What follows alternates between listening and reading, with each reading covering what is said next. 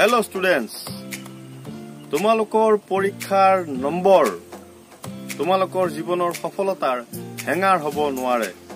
হয় তোমালোকে ঠিকেই শুনিছা। পৰীক্ষাত তোমালোকে কিমান নম্বৰ পাইছা বা পাইছিলা বা পাবা এইটো কেতিয়াও বিষয়বস্তু হ'ব নোৱাৰে তোমালোকৰ জীৱনৰ সফলতাৰ। আজি তোমালোকক মই তেনেকুৱা চাৰিজন ব্যক্তিৰ কথা কম। পৃথিৱীৰ যিকেইজন ব্যক্তিৰ পঢ়া শুনা খুব কম থকাৰ পিছতো তেওঁলোকে জীৱনত সফলতা লাভ কৰিছে। গতিকে আহা ভিডিঅ'টো আৰম্ভ কৰো।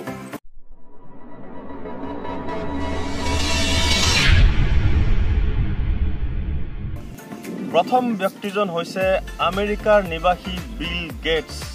হয় বিল গেটছ মাইক্ৰ'ছফ্টৰ ফাউণ্ডাৰ পঢ়া শুনা বৰ উচ্চ পঢ়া শুনা নাছিলে।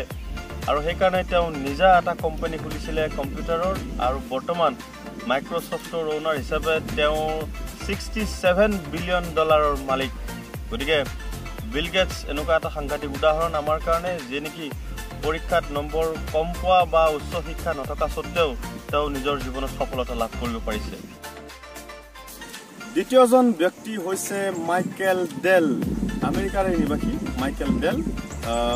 তেখেতৰো পঢ়া শুনাত বৰ সিমান উচ্চ শিক্ষিত শিক্ষিত নাছিল। আৰু যাৰ কাৰণে নেকি তেওঁ কম্পিউটাৰৰ বিভিন্ন সৰু সুৰা সামগ্ৰী তেওঁ বিক্ৰী কৰি নিজৰ জীৱন নিৰ্বাহ কৰিছিল। কিন্তু তেওঁৱেই ভৱিষ্যতলৈ গৈ ডেল কোম্পানীৰ মালিক হিচাপে প্ৰতিস্থাপিত কৰিলে নিজকে। এতিয়া তেওঁৰ বৰ্তমান নেটৱৰ্থ ইয়াৰলি হৈছে fifteen point nine billion dollar গতিকে তেওঁ এজন আমাৰ কাৰণে আদৰ্শৱান ব্যক্তি। তিনি নম্বৰ ব্যক্তিজন হৈছে মাৰ্ক জুকাৰ বাৰ্গ আমেৰিকাৰ নিবাসী।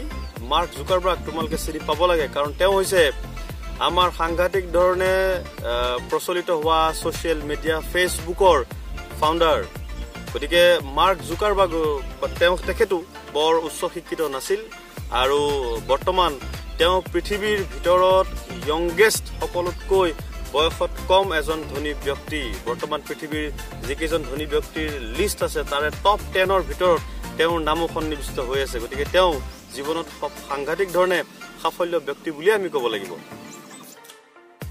এতিয়া তোমালোকক এজন ভাৰতীয়ৰ কথা কওঁ। তেখেতৰ নাম হৈছে আজিম প্ৰেমজী। বহুতে হয়তো চিনিও পাব পাৰে। আজিম প্ৰেমজী বৰ্তমান উইপ্ৰ' কোম্পানীৰ চেয়াৰপাৰ্চন চেয়াৰমেন তেওঁ। আৰু সেই উইপ্ৰ' কোম্পানীটোকে যিটো কোম্পানীয়ে নেকি পূৰ্বতে অকল চাবোন আৰু তেলৰ সামগ্ৰীয়ে বিক্ৰী কৰিছিল সেই কোম্পানীটোক এটি ছফ্টৱেৰ আৰু পৃথিৱীৰ বিখ্যাত কোম্পানীলৈ ৰূপান্তৰিত কৰা আজিম প্ৰেমজী হৈছে সেই ব্যক্তিজন বৰ উচ্চ শিক্ষিত নহয় যদিও তেওঁ এতিয়া বৰ্তমান পৃথিৱীৰ এজন সাংঘাতিক ধৰণে ধনী ব্যক্তি বুলি পৰিচিত হৈছে।